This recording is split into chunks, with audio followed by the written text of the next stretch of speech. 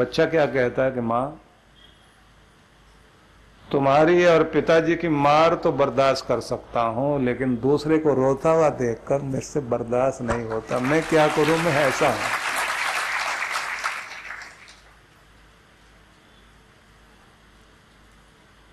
तो माँ कहती है, भगवान ने तुझे ऐसा क्यों बनाया बेटा? बच्चा कहता है, मैं नहीं जानता मैं ऐसा क्यों हूँ। तो माँ ने कहा, बेटा तो जैसे लोग भगवान दुनिया में बहुत कम बनाता अगर सारे ऐसे हो जाएँ, इस दुनिया का भला हो जाए। आज सोचिए कि जहाँ दुकान पर आदमी मिलावट करता है, चीज़ों में, दवाइयों में मिलावट करता है, दूध में मिलावट करता है, अपने थोड़े से पैसे बचाने के लिए, इकट्ठा करने के लिए दूसरों को जहर दे रहा है कितने क्रूर निर्दयी लोग हैं हम लोग। कोई ऐसी चीज़ नहीं रही जिसमें मिलावट नहीं हो रही। अपने थोड़े से पैसे इकट्ठे और हो जाएँ, दूसरे की ज़िंदगी के साथ खेलने को तैयार है। एक तरफ़ मंदिरों में भीड़ बढ़ रही है और दूसरी तरफ़ निर्दयता बढ़ रही है। इस निर्दयता के बढ़ने का परिणाम यह है कि आज पूरी दुनिया अशांति से भरी दिखाई देती है। मंदिरों में जा रहे हैं लोग इसलिए धार्मिक नहीं है। मंदिरों में जाने का मतलब धार्मिक हो गया, ऐसा नहीं है। चोर डाकू भी अपना डाका डालने से पहले देवी माता की पूजा करके जाते हैं। अच्छा सा डाका पड़ जाए आज, फिर तुझे प्रसाद चढ़ा दो। अभी पिछले हफ़्ते मैंने एक न्यूज़ पढ़ी जिसमें हेडिंग दिया हुआ था कि पाँव छू के जेब काट ली। हेडिंग ऐसे दिया हुआ था मुझे, पढ़ना पड़ा तो उसमें लिखा हुआ था, एक आदमी भीड़ में चलता हुआ आया, उसने पाँव पर पाँव मारा तो पाँव पर पाँव लग गया तो फिर उसने पाँव को झुक करके प्रणाम किया, माफ़ करना माफ़ करना, और उसके बाद में झटका सा दे के चला गया। उसके बाद में फिर दोबारा पाँव मारा और फिर माफ़ी मांगने लगा।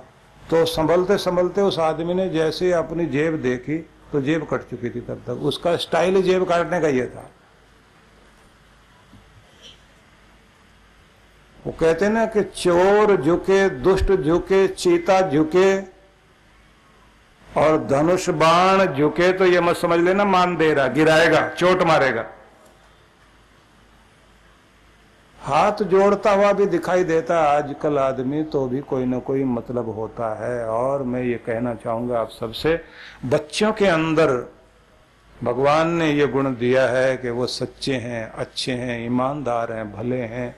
लेकिन हम लोग अपने बच्चों को भी न जाने क्या सिखा रहे हैं। उनके अंदर बेईमानी सिखा रहे हैं, झूठ बोलना सिखा रहे हैं, अधर्म सिखा रहे हैं।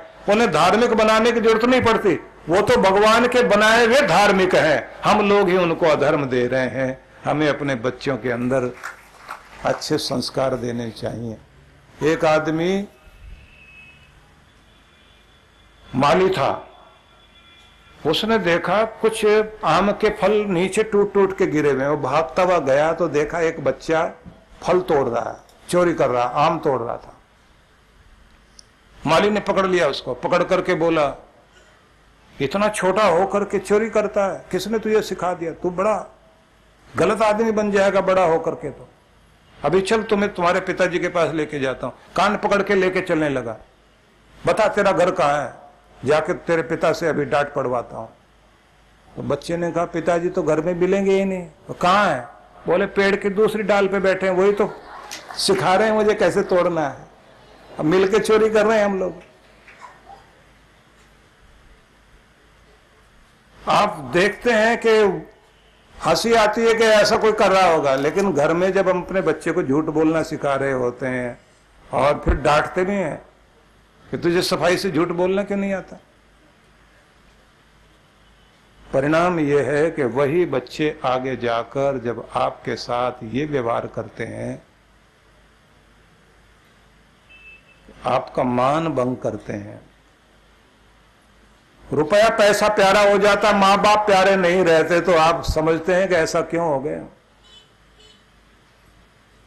क्योंकि आपने गुट्टी में जो कुछ संस्कार दे दिए, वो खराब थे।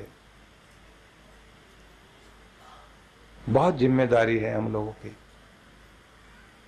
अपने घर में अपने बड़े बुज़ुर्गों का सम्मान कीजिए। इस बात को ध्यान में रखकर कि बड़ों की दुआओं में जो कुछ बसता है, उसे भगवान भी इनकार नहीं कर सकता। उनकी दुआएँ स्वीकार होती हैं, उनके आशीर्वाद स्वीकार होते हैं। अपने माँ बाप जिन्होंने, जिस पिता ने पाल पोस कर आपको लायक बनाया, सोचिए पिता क्या अद्भुत चीज़ है। माँ का प्यार दिखाई देता, पिता का तो नहीं दिखाई देता ना। डांटता डांटता दिखाई देता है। लेकिन जिसने अपने बाहों के झूले में झूला झुलाकर आपको पाला, जिसने अपने कंधे पर बैठाकर आपको दुनिया देखने के लिए मौका दिया, और जिसने रात दिन अपना सुख ध्यान नहीं रखा, अपने बच्चे के लिए सुख समेट कर लाता रहा, जो खुद अच्छे कपड़े नहीं पहन पाया, लेकिन अपने बच्चे को अच्छे से अच्छे कपड़े पहनाने में जिसने सब कुछ लगा दिया अपने बच्चे को पढ़ाने में, जिसने अपना कर्जा सिर पर ले लिया, वो पिता कितना ऊँचा होता है। अगर बच्चे को डांटता है तो इस बात के लिए डांटता है कि जो कमी मेरी ज़िंदगी में रह गई, वो तेरी ज़िंदगी में न रह जाए तो मेरे से कहीं आगे पहुँच। ये भावना किसी पिता की होती है। माँ तो माँ है। दोनों का अंतर बड़ा अद्भुत है। पिता भेजेगा बच्चे को कारोबार के लिए बिज़नेस के लिए। पैसे दे करके भेजता है। ये ये बिज़नेस करके आना, ये करके आना, वो करके आना, सब कुछ भेजेगा। लेकिन जैसे ही बच्चा वापस आएगा तो पिता सबसे पहले उसकी पॉकेट देखता है। क्या कमा के लाया, क्या खर्च किया था क्या क्या डील हुई क्या क्या बात हुई। पिता का ध्यान पॉकेट पे रहता और माँ का ध्यान सिर्फ़ पेट पर रहता वो आते पूछे कि क्या खाया था, कहाँ सोए थे? कुछ ठीक से मिला भी था या भूखा रह गया था? नाश्ता कहाँ किया था? भोजन कहाँ किया था? दोनों में अंतर बहुत है। माँ, बच्चे से बार बार पूछती रहती है, तूने अपना ध्यान रखा था ना?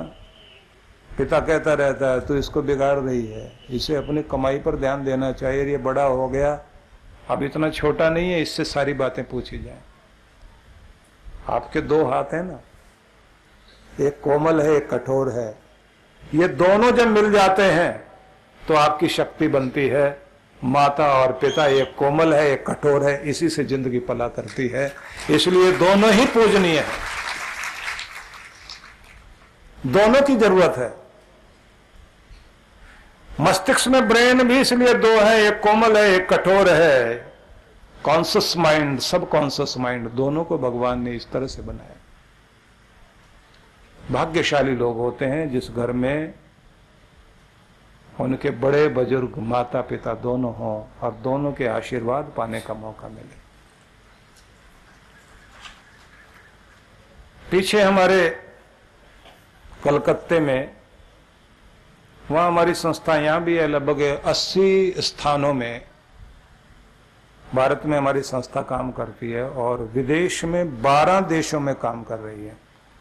तो कलकत्ते में हम लोगों ने, वहाँ के हमारे संगठन के लोगों ने, डेढ़ सौ गरीब लोगों की शादियाँ करवाई। तो जब शादी हो रही थी तो मुझे उन्होंने बुलाया कि आपने दो मिनट के लिए आशीर्वाद देना है। तो सब जैसे बैठे हुए थे। तो मैंने उनसे एक बात कही, जब जोड़ा, डेढ़ सौ जोड़े सामने बैठे हुए थे। मैंने कहा, अगर कुछ इस समय याद रखोगे, एक बात तो ये याद रखना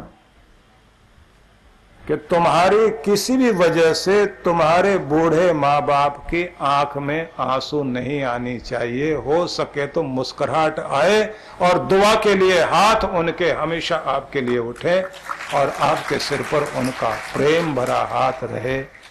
इस बात की कोशिश करना। माँ बाप के लिए और कुछ करो ना करो, पर उन्हें कभी रुलाना मत। तड़फाना मत।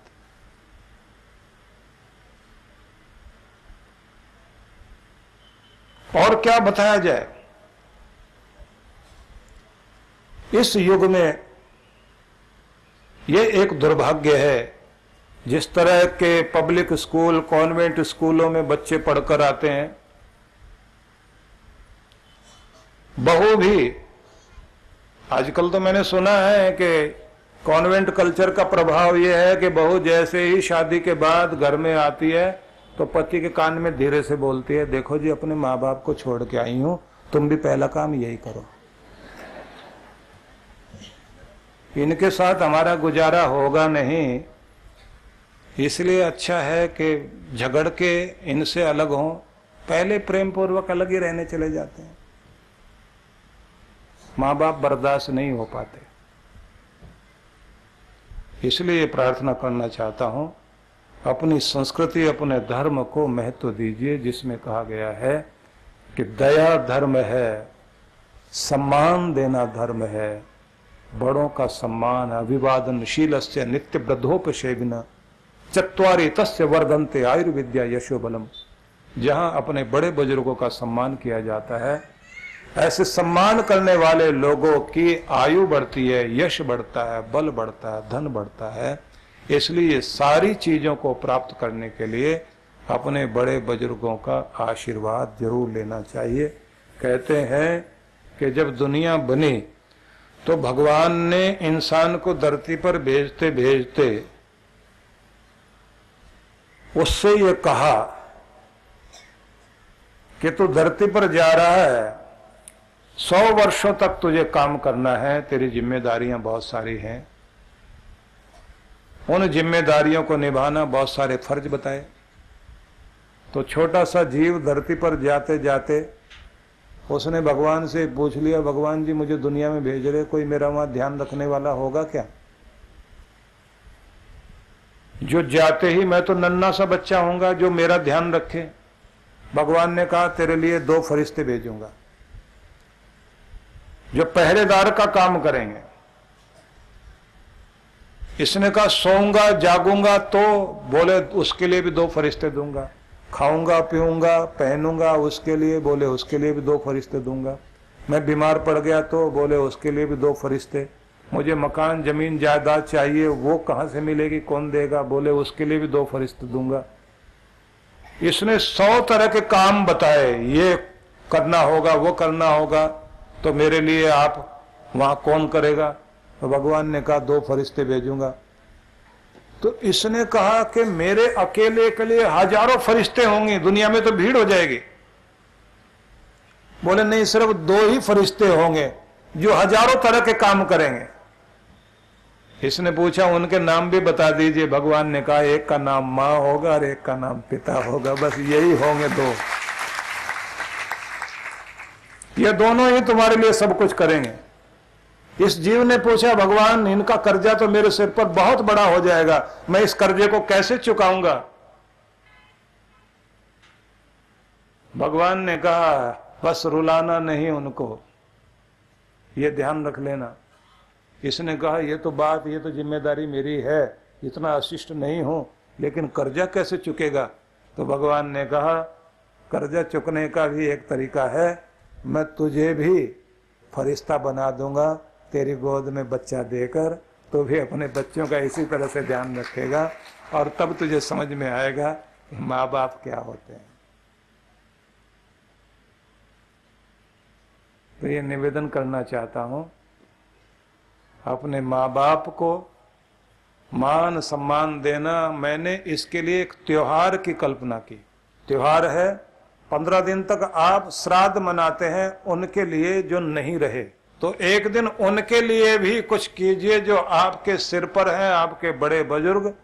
उसका नाम श्राद्ध नहीं, श्रद्धा पर्व नाम दिया जाना चाहिए, जिस दिन आप उनके प्रति कृतज्ञता प्रकट करें, आदर मान प्रकट करें, उनकी पूजा करें और उनसे माफ़ी मांगे कि जो हमसे गलती हो गई, उसे आप माफ़ कर दीजिए।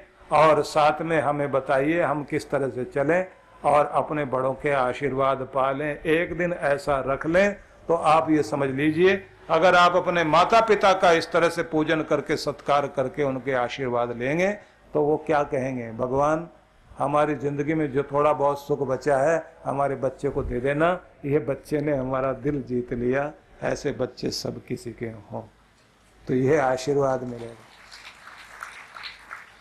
मैं ये कहा करता हूँ कि अगर घर में माँ है, पिता है तो दोनों का करो। अगर सिर्फ़ पिता है तो पिता का पूरा ध्यान रखो, उनकी मूवी भी बना के रखो। जब नहीं रहेंगे तो कम से कम वो फ़िल्म देखकर ये तो याद आएगा कि इस तरह से हमारे पिताजी थे, ऐसे हमारे साथ बोलते, हँसते थे। माँ है तो माँ को इसी तरह ख्याल रखो और उनको हर महीने पॉकेट मनी भी देनी चाहिए। जेब खर्ची दो। उन्हें कहो, जहाँ मर्ज़ी आए, वहाँ खर्च करो। जब हम छोटे थे तो आप हमें पॉकेट मनी देते थे। आज हम कमाने लायक हुए हैं तो आज हम ये इस तरह से दे रहे हैं, जैसे भगवान से सब कुछ पाते हैं, फिर भी उसके आगे रुपया, पैसा, फूल, मिठाई, नारियल सब चढ़ाते हैं। ऐसे ये हमारी भेंट है। जहाँ मर्ज़ी आए, वहाँ खर्च करो। और अगर हो सके तो उनकी मर्ज़ी भी पूछ लो। कभी कभी ऐसा हो सकता है कि आप रुपया पैसा माँ को देने लग जाए और माँ जो है उस समय जैसे ही उसको पैसे देने लग जाए, पत्नी टोकने लग जाए, कान में धीरे से बोले, माँ को पैसे मत दे देना, सारे इकट्ठे करके अपनी बेटी को दे देगी, इसलिए पैसे मत दे देना इसको। तो भी पैसे देना। क्यों? क्योंकि एक माँ थोड़े थोड़े पैसे बचा करके जब उसके पास उसकी बेटी मिलने आती है तो उसको खाली हाथ नहीं लौटाती। उसकी कोशिश होती है कि अपने बच्ची के हाथ में कुछ ना कुछ रखू मैं ज़रूर। रक्षाबंधन के समय में आती ना बहन राखी बांधने के लिए। तो माँ की कोशिश होती है अपनी बेटी का सत्कार इस तरह किया जाए कि बेटियाँ, गुरु और भगवान उसके दर पर न खाली जाते, ना उन्हें खाली लौटाया जाता। कहते हैं उनको हाथ में मान सम्मान सत्कार देना चाहिए। तो आपने देखा होगा कि जब बहन रक्षाबंधन के अवसर पर घर में आती है तो ज़्यादातर तेज़ी से भागती भी थोड़ा बहुत टाइम होता है। तो बेटी जैसे घर में आई, आती, उसने माँ से कहा, भाई को तो राखी बाँध दी है, अब मैंने सहेलियों से मिलना है और बहुत जल्दी जाना भी है और मैं खाऊँगी कुछ नहीं। तो माँ उस समय क्या कहती है? मैंने तेरी पसंद की सारी चीज़ें बनाकर टेबल पर सजाई है। बेटी कहेगी, माँ, तू मेरा इतना ख्याल रखती है। तो माँ कहती है, तू अपने ससुराल में सबकी पसंद का ख्याल रखती है। तेरी पसंद को दुनिया में कोई नहीं जानता तेरी माँ के सिवाय। मैं ही जानती हूँ कि तुझे क्या पसंद आता है। और तुझे खिलाकर जो आनंद आएगा, वो माँ ही जानती है। अब बच्ची कहती है माँ तुझसे चला नहीं जाता। कहाँ से सब्ज़ियाँ लेके आई?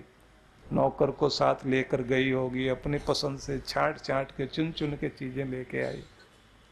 और माँ कहती अच्छा थोड़ा थोड़ा झूठा कर ले थोड़ा सा खा ले, बस मुझे अच्छा लग जाएगा। और फिर धीरे से हाथ दबाकर पूछने लगती है, तेरे घर में सब ठीक है ना? कुछ छिपा तो नहीं रही? वो टटोलना शुरू कर देती है, मेरी बेटी, ठीक तो है बेटी कहती, माँ तो मेरी चिंता मत कर, मैं बिल्कुल ठीक हूँ। तो फिर कहती है अच्छा दो मिनट के लिए मेरे कमरे में आ। माँ, मुझे पता है तो क्या पूछेगी। मैं वहाँ बिल्कुल ठीक ठाक हूँ। मुझे ना कोई ताना देता, ना कुछ बुरा भला कहता। मैं वहाँ बहुत अच्छी तरह से हूँ। नहीं, फिर भी अंदर आ। अंदर लेकर जाएगी, उसे बैठाएगी। बैठाने के बाद फिर ट्रंक खोलती है।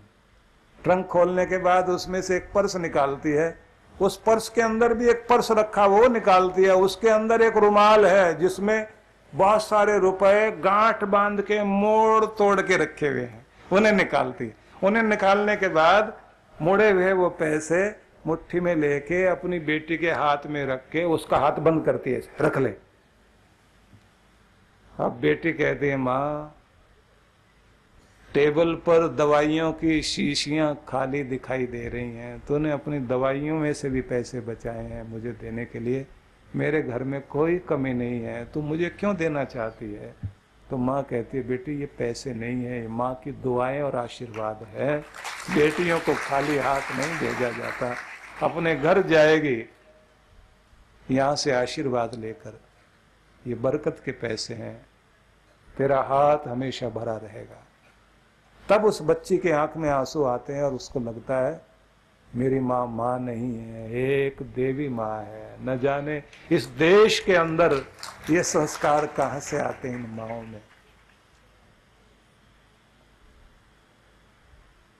निवेदन इतना ही करना चाहता हूँ। ये भावनाओं में जीने वाला देश है, संस्कारों में जीने वाला देश है। अपने बड़ों को, अपनी परंपराओं को सुरक्षित रखने की कोशिश कीजिए। इन्हें ज़िंदा रखिए। इससे आपके घर में खुशहाली आएगी। अपने नियमों को पक्का रखिए। अपने मंदिरों में जाने का नियम पक्का रखिए। दान का, सेवा का नियम पक्का रखिए। गौग्रास निकालने की परंपरा बनाइए। और अपने हाथ से कुछ न कुछ ऐसा काम ज़रूर करो, जिसे करने के बाद आपको तसल्ली आती हो। इस तरह की परंपराएँ आप निभाएँगे। निश्चित रूप से कल्याण होगा। जीवन संचेतना। लाखों पाठकों की बुद्धि को सचेतना से और हृदय को सद्भावना से परिपूर्ण करने वाली मासिक पत्रिका, जीवन संचेतना। ये देववाणी है। परम पूज्य श्री सुधांशु जी महाराज के उपदेशों को पढ़ने एकमात्र समान उपयोगी मासिक पत्रिका, जीवन संचेतना। सदस्यता शुल्क भारत में।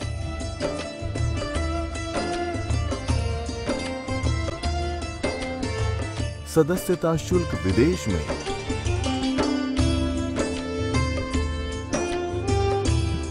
यदि आप जीवन संचेतना की सदस्यता प्राप्त करना चाहते हैं तो इस पते पर संपर्क करें। विश्व जागृति मिशन, आनंद धाम आश्रम, नांगलोई नजफगढ़ रोड, बक्करवाला मार्ग नई दिल्ली